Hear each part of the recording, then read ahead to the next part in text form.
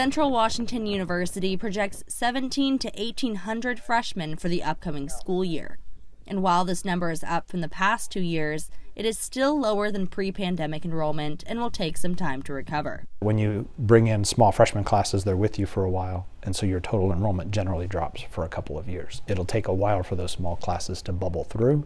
With about 50% of the budget coming from the state and 50% from tuition, lower enrollment means some hard choices will have to be made. We've tried really hard to maintain our normal student to faculty ratio of about 20 to 1. So that is that is something that Central has um, had in place for a long time. The the goal of having a, a low student to faculty ratio. Less students means less professors are needed.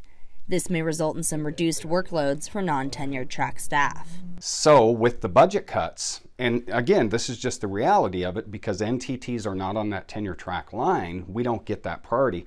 We're going to be the first ones to get cut, to lose our jobs that's going to affect our students. In an effort to increase enrollment, Central plans on taking a different route.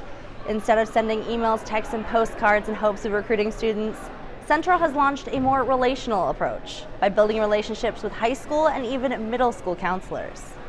Central Washington University has such incredible depth and quality to the relationships that we establish here on this campus. That's who we are and how we do what we do.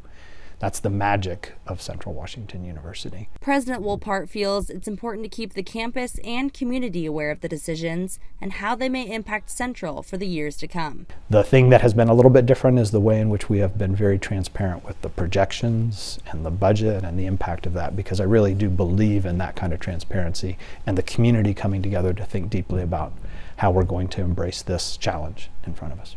Wohlpart says it will take another three to four years for Central to return to their normal enrollment. From CW Campus, Laynie Erickson, Central Newswatch.